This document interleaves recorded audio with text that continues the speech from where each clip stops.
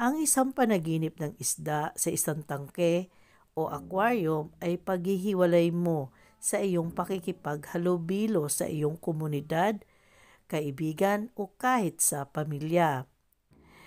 At kung sa positibong pananaw naman, ikaw ay nagiging komportable sa iyong posisyon ngayon sa iyong waking life.